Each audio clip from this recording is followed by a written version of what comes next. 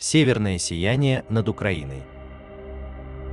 В ряде регионов Украины, в частности, Киевской, Львовской, Черниговской, Волынской, Черкасской, Ровенской и Хмельницкой областях наблюдалось поразительное астрономическое явление.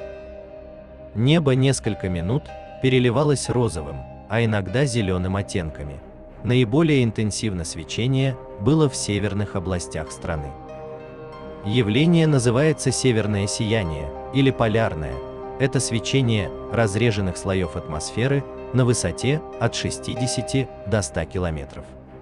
Обычно на Земле такие сияния наблюдаются в 20-35 градусах от магнитных полюсов. Украина лежит на 44 и 52 северной широты, поэтому это крайне редкое зрелище для этого региона планеты.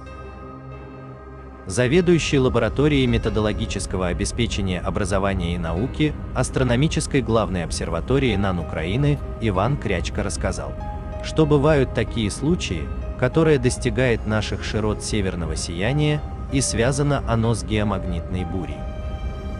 По словам ученого, когда корональные массы Солнца достигают заряженной атмосферы вокруг Земли, они проникают в атмосферу и взаимодействуют с азотом и другими входящими в состав воздуха молекулами.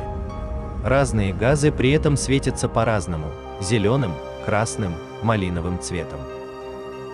Астроном, сотрудник Харьковского планетария Владимир Кажанов, также убежден, что украинцы вместе с жителями многих стран северного полушария Земли наблюдали полярное сияние. На момент часа ночи буря уменьшила интенсивность.